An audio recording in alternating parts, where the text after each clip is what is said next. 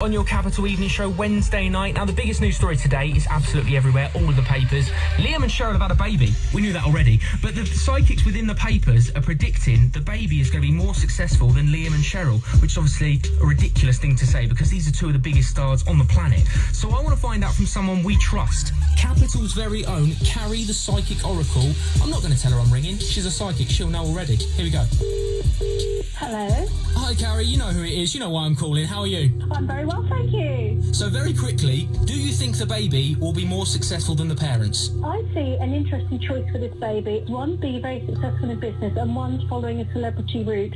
Ultimately, I think he's going to be tasting the celebrity route, but going for the business success. Oh, he sounds like a thinker already. Are you getting that vibe? Absolutely. Very sensible. Feet firmly planted on the ground. So, do you think that he's going to maybe befriend some, some other celebrity babies, or is he going to have his own kind of circle? He's undoubtedly going to have a few celebrities, especially in kindergarten stage, a lot of play dates, but there's definitely, I feel, a social mix for this child. And I think it's very much coming from Cheryl and Liam as well. So I think that there's going to be children um, from a more normal, ordinary background right through to celebrities, and that they're very keen that he's got a grounded approach. Okay, so you've said that the baby might go into a business side or the celebrity kind of route. Can you th- kind of pinpoint a job that maybe the uh, baby will go into? I'm seeing him in a suit, but quite a sharp suit. I feel that it, it doesn't tell me exactly what the job title is, but very good at handling money. I do need an Like- accountant, so shall I get in early?